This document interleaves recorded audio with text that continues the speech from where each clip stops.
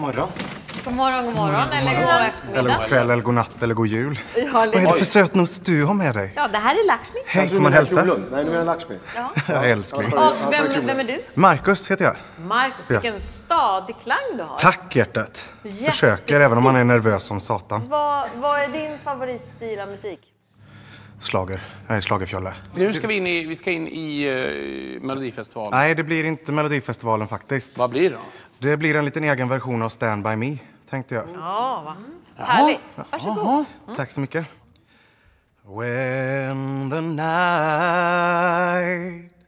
has come and the land is darker than you see I won't cry, no I won't, I won't shed a tear just as long as you stand, stand by me.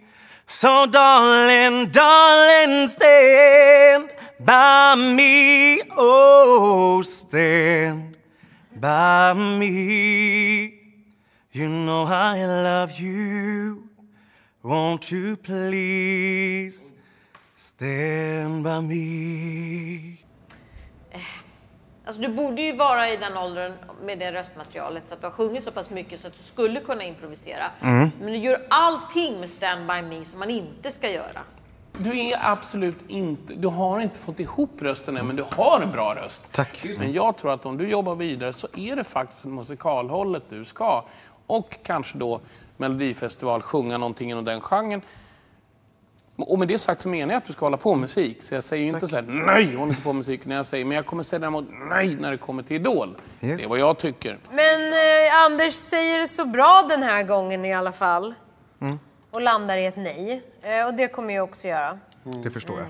Jag håller med Nicky om att Anders har det bra. Ja. Så i tre- tredje led så blev det ett nej från mig också. ska se om Kirsti Jag också måste går ta med er det fina. Det blir ett nej från mig också. Tack Förstår. Tack Stort tack. Ha en fantastisk dag på er. Det är detsamma, detsamma vännen.